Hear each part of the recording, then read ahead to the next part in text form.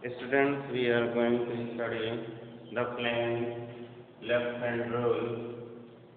So what is the left hand rule? If we stretch the thumb, forefinger and middle finger perpendicular to each other.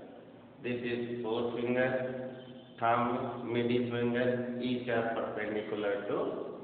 Okay. If the forefinger points the direction of middle point. आपकी ये four finger क्या कर रही है? Direction of the magnetic field को show कर रही है। मिडिल फिंगर क्या शो करेगी? Direction of the current okay middle finger show the if the middle finger show the direction of the current four finger show the direction of magnetic field then thumb will indicate the direction of force okay? तब force किस direction में लग रहा है?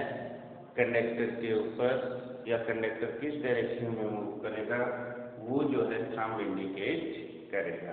That is the Fleming left hand rule जो आपको यहाँ पे शो कर रहा है। This is the Fleming left hand rule okay?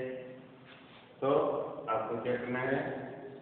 This is the magnetic field this is the current direction of current. Then force is applied in the direction of thumb that's all